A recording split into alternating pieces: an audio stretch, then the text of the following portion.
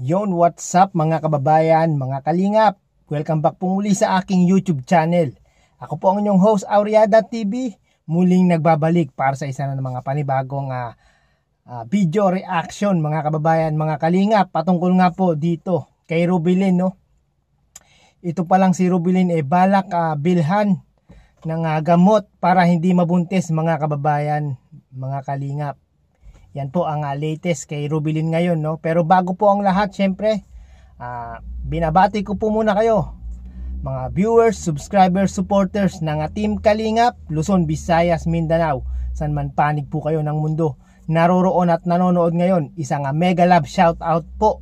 At uh, sana po ay lagi kayong nasa mga mabubuting mga kalagayan, lalong lalo na yung mga kababayan nating mga OFW na nagtitiis ng kalungkutan at nagsisipag magtrabaho para lang may maipadala sa kani-kanilang mga mahal sa buhay no. At syempre hindi natin nalilimutan na magpasalamat kay Kuya Bal Santos Matubang sa kabutihang uh, ibinibigay niya hindi lang sa mga ating mga kababayan na nangangailangan no, maging sa aming mga small YouTubers na tinutulungan po kami ni Kuya Bal sa aming uh, mga YouTube channel no.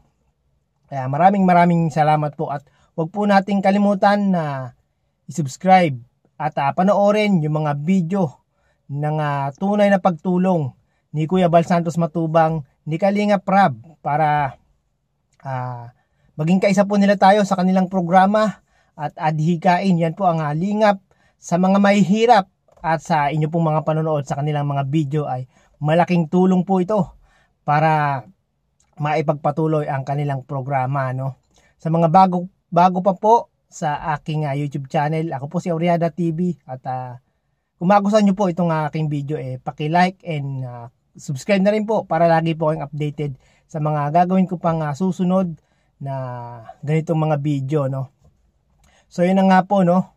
Kahapon po ay nag-upload si Kalinga Prab. Yung iba siguro napanood niyo na to mga kababayan, mga Kalingap.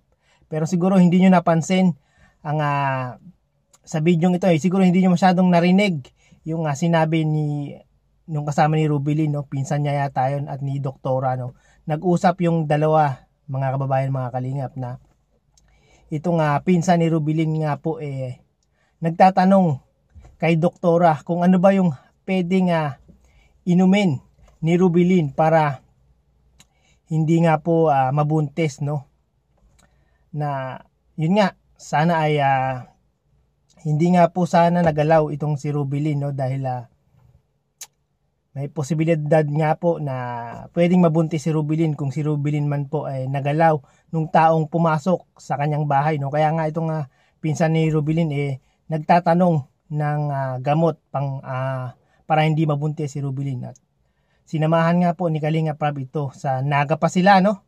Sa Naga pa nagpunta sila Kalinga Prab at si Rubilin para doon isagawa yung uh, medical legal na para kay Rubilin at uh, hindi pala pwede sa ibang lugar yun no?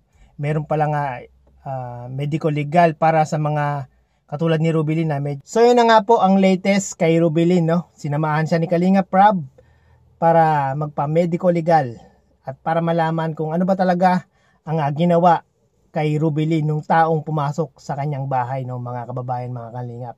At uh, nagpapasalamat tayo kay Kalingap Rab dahil uh, sa walang sawang pagtulong at paglingap dito kay Rubilin no. So hanggang dito lang po ang aking uh, video mga kababayan. Ako po ay nagpapasalamat sa walang sawang panonood ng aking mga video. Salamat po.